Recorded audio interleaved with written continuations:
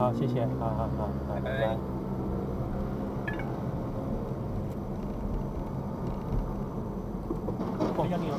这款掌机最大的特点大概就是它算是市面上第一台使用了 Steam OS 的第三方游戏掌机。为什么只说算是呢？因为它用的不是官方原版的 Steam OS，而是重新封装后的通用版本 Holo ISO。如果用不习惯的，也是能够改成 Windows 系统。在外形方面看起来跟之前的 I O Neo Next 系列差不多，屏幕用了跟 Steam Deck 一样的解析度，七寸八零零 P，重量偏重，七百可，颜色有三种。类比摇杆以及扳机按键呢，用的都是跟前面提到的 MSI Core 一样的技术，号称不漂移，可以长久使用，还主打了同类产品中比较少见的大模糊头，使用起来应该会比小头还要舒服一些，毕竟大一点舒服一点。用户习惯也是可以自己换头。电池的容量也还算大，四十七瓦小时。如果拿它的前辈来推测的话，玩三 A 画质的游戏大约是一点五到两个小时，用低功耗来跑小游戏则是能玩三。